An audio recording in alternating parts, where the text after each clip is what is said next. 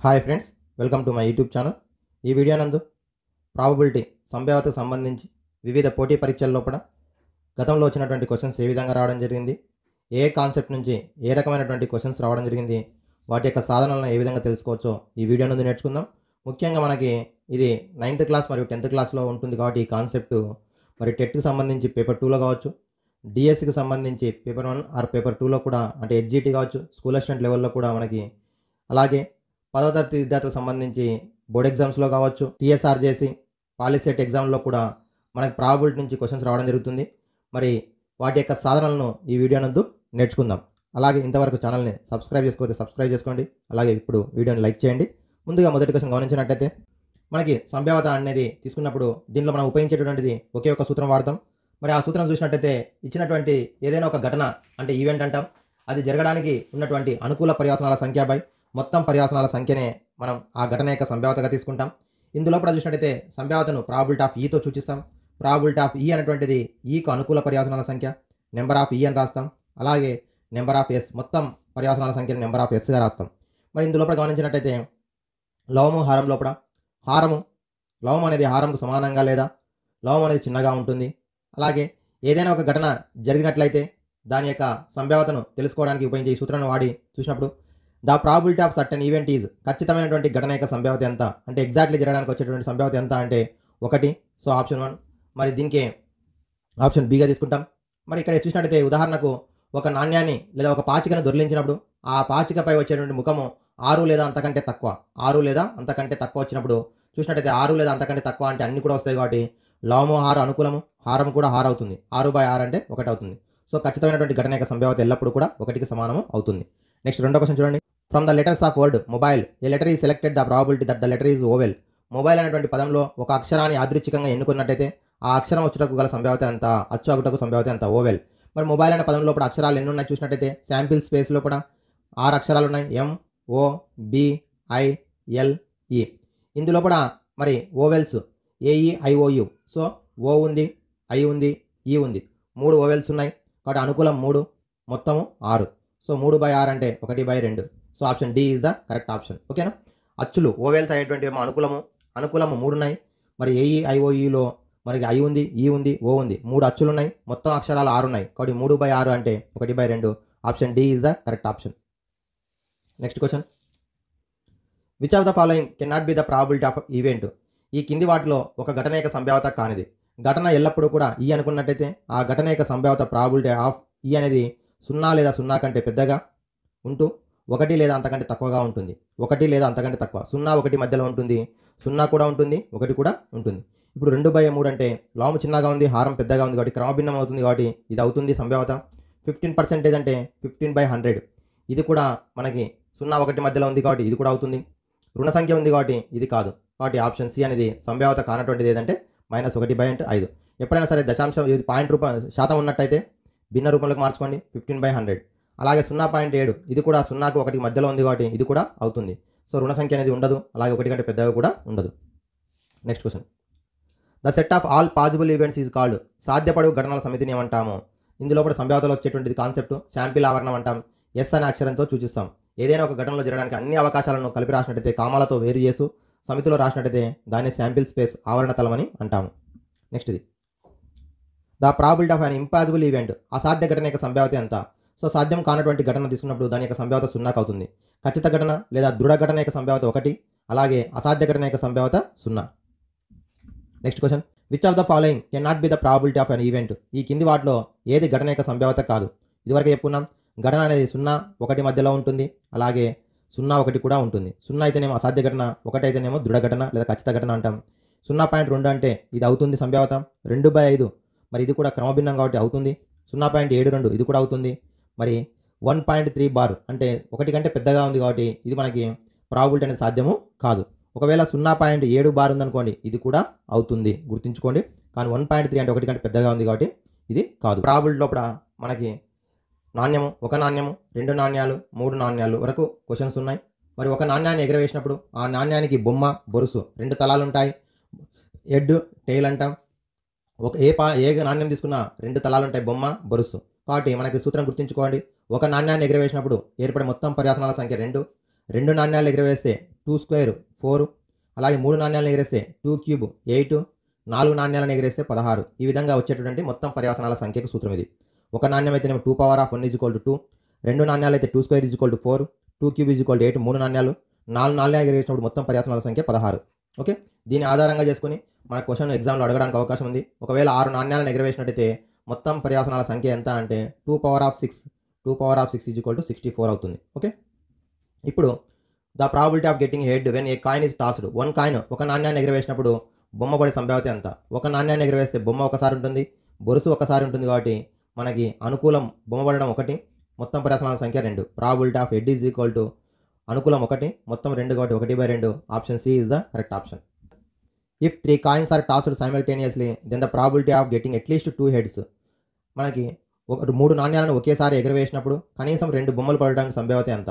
ఇక్కడ బాగా గుర్తుంచుకోండి మినిమం కనీసం రెండు బొమ్మలు అంటే అర్థము రెండు బొమ్మలన్నా పడవచ్చు మూడు బొమ్మలన్నా పడవచ్చు. మరి రెండు లేదా అంతకంటే ఎక్కువ బొమ్మలు కూడా పడవచ్చును. ఇప్పుడు మనము మూడు నాణ్యాలు ఎగరవేసినట్టయితే ఫలితాలు ఎన్ని వస్తాయంటే రెండు ఘాతం మూడు ఈజ్ ఈక్వల్ టు ఎనిమిది ఫలితాలు వస్తాయి. ఒక్కసారి వాటిని గుర్తు చేసుకుందాం. మూడు హెచ్చులు లేదా రెండు హెచ్చులు ఒక టీ ఆ టీ అనేటువంటిది మరి మొదటి కాయిన్ పైన ఉండవచ్చు రెండవ కాయిన్ పైన ఉండవచ్చు మూడో కాయిన్ పైన ఉండవచ్చు. రెండు బొమ్మలు ఒక బొరుసు. అలాగే ఒక బొరుసు రెండు బొమ్మలు. చూడండి ఒకసారి. ఈ విధంగా ఒక బొమ్మ రెండు బొరుసులు. అలాగే మూడు కూడా బొరుసులు. ఈ విధంగా మొత్తం ఎనిమిది ఫలితాలు ఉంటాయి. మొత్తం ప్రయాసనాల సంఖ్య ఎనిమిది అవుతుంది. ఇప్పుడు మన క్వశ్చన్ లోపల కనీసం రెండు బొమ్మలు అంటే రెండు బొమ్మలు పడవచ్చు మూడు బొమ్మలు పడవచ్చు. రెండు బొమ్మలు ఉన్నటువంటి మూడు మూడు బొమ్మలు ఉన్నటువంటిది ఒకటి. సో మొత్తం మీద అనుకూలం నాలుగు మొత్తం ఎనిమిది. నాలుగు బై ఎనిమిది అంటే ఒకటి బై రెండు. ఓకే? మరి ఎగ్జామ్లో ఇవన్నీ రాయాలంటే ఎగ్జామ్లో ఇవన్నీ రాయాల్సిన అవసరం లేదు. గుర్తుపెట్టుకోండి మూడు బొమ్మలు వచ్చేటువంటిది ఒకటి ఉంటుంది రెండు బొమ్మలు వచ్చేటువంటివి మూడు ఉంటాయి ఒక బొమ్మ వచ్చేటువంటివి మూడు ఉంటాయి. అసలు బొమ్మ లేనిది లేదా జీరో హెచ్ లేదా త్రీ టీ మూడు బొరుసులు ఉన్నటువంటిది ఒకటి ఉంటుంది మొత్తం మీద. మూడు బొమ్మలు లేదా మూడు బొరుసులు ఉన్నటువంటిది ఒక్కొక్కటి ఉంటాయి రెండు బొమ్మలు లేదా ఒక బొమ్మ లేదా రెండు బొరుసులు ఒక బొరుసు ఉన్నటువంటి మూడు మూడు ఉంటాయి. దీన్ని గుర్తుపెట్టుకున్నట్టయితే మనం డైరెక్ట్ రాయొచ్చు. కనీసం రెండు బొమ్మలు అంటే రెండు లేదా అంతకంటే ఎక్కువ కాబట్టి రెండు బొమ్మలు ఉన్నది మూడు మూడు బొమ్మలు ఉన్నది ఒకటి. మూడు ప్లస్ ఒకటి ఈజ్ ఈక్వల్ నాలుగు బై ఎనిమిది. ఒకవేళ ఇదే క్వశ్చన్ ఇలా అడిగింది అనుకోండి ఒకసారి గుర్తు చేసుకుందాం. గరిష్టము రెండు బొరుసులు. గరిష్టము రెండు బొరుసులు. ఇప్పుడు చెప్పండి మీరు ఆలోచించండి. గరిష్టము రెండు బొరుసులు అంటే రెండు బొరుసులు ఉండవచ్చు అంతకంటే తక్కువ కూడా ఉండవచ్చు. అంటే ఒక బొరుసు ఉండవచ్చు అసలు బొరుసు లేకుండా కూడా ఉండవచ్చు. గుర్తుపెట్టుకోండి. రెండు బొరుసులు ఒక బొరుసు బొరుసు లేనిది. బొరుసు లేనిది అంటే మూడు బొమ్మలు. ఒకటి. ఒక బొరుసు ఉన్నటువంటి మూడు ఉంటాయి రెండు బొరుసులు ఉన్నట్టు కూడా మూడు ఉంటాయి one plus three plus three total seven. So probability of గరిష్టము రెండు బొరుసులు ఈజ్ ఈక్వల్ టు ఏడు బై ఎనిమిది. ఓకేనా? ఇది గుర్తుపెట్టుకోండి. నెక్స్ట్ది. మూడు నాణ్యాలను ఒకటేసారి వేరేసిన గరిష్టం రెండు బొమ్మలు రావడానికి సంభావ్యత ఎంత? సో సేమ్ రెండు బొమ్మలు. సో రెండు బొమ్మలు ఒక బొమ్మ అసలు బొమ్మ లేనిది. అసలు బొమ్మ లేనిదంటే మూడు బొరుసులు. ఒక బొమ్మ అంటే రెండు బొరుసులు. రెండు బొమ్మలు అంటే ఒక బొరుసు. రెండు కూడా సేమ్ క్వశ్చన్లు. సో సేమ్ మరి ఇవన్నీ ఉంటాయి మనకి చూడండి ఒకసారి. బొరుసు లేనిది బొమ్మ లేనిది అంటే బొరుసు ఒకటి. ఇది మూడు మూడు ఉంటాయి. So total seven by eight so option D is the correct option okay మరో క్వశ్చన్ ఆలోచిద్దాం. మరి ఇక్కడ రెండు బొమ్మలకు సంబంధించినటువంటి రెండు నాణ్యాలకు సంబంధించిన క్వశ్చన్ రాలేదు.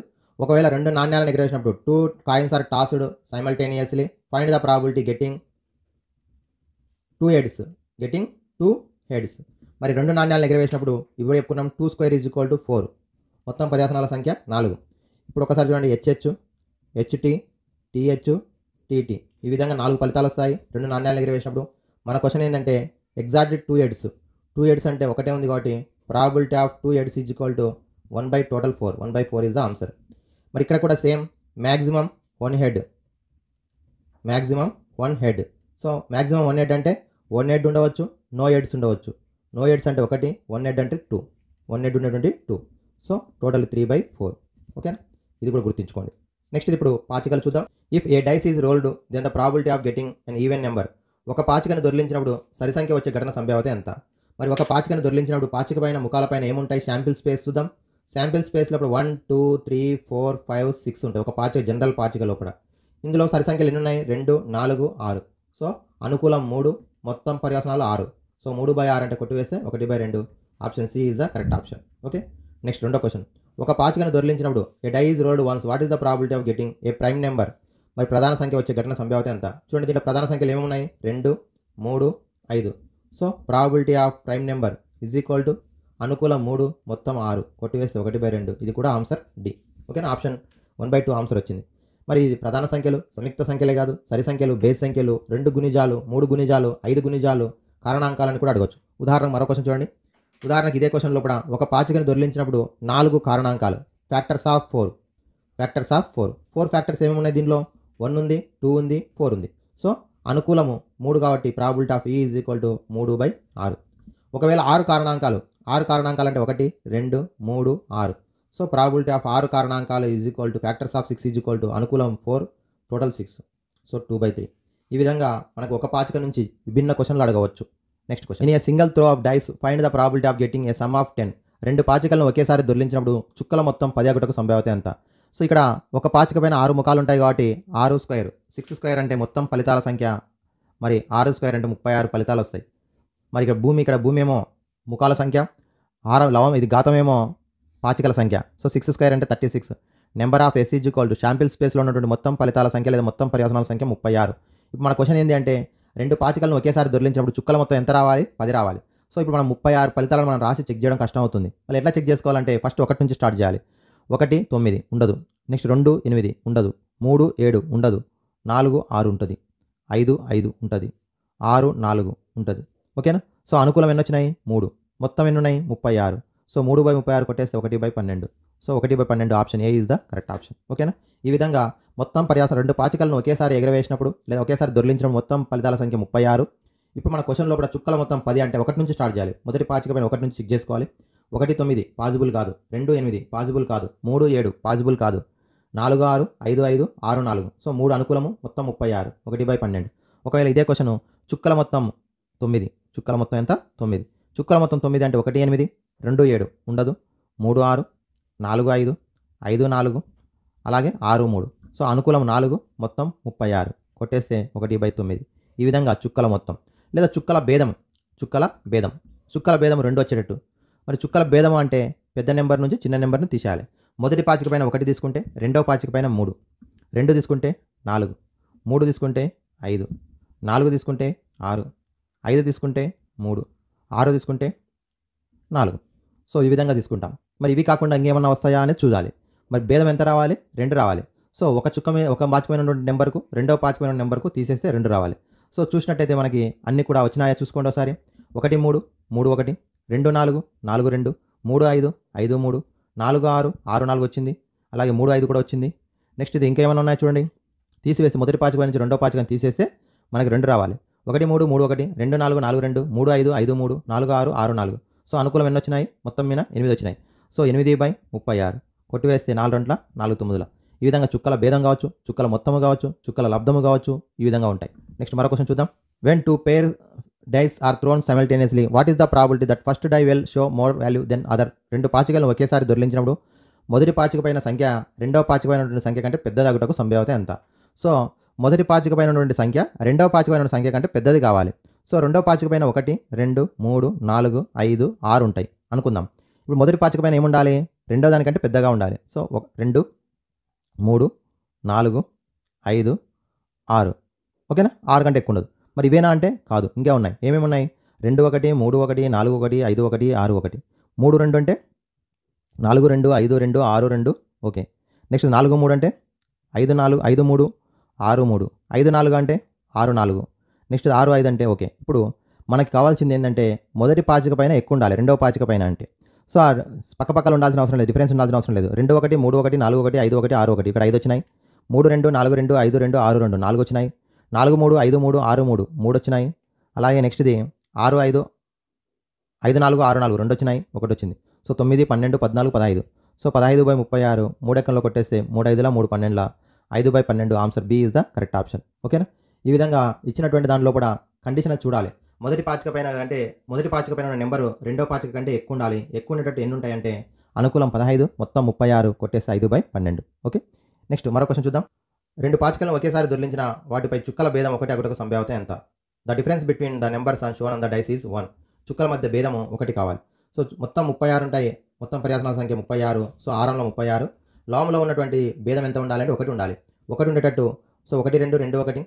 అలాగే నెక్స్ట్ ఇది మూడు రెండు రెండు మూడు అలాగే నాలుగు మూడు మూడు నాలుగు అలాగే ఐదు నాలుగు నాలుగు ఐదు ఓకే?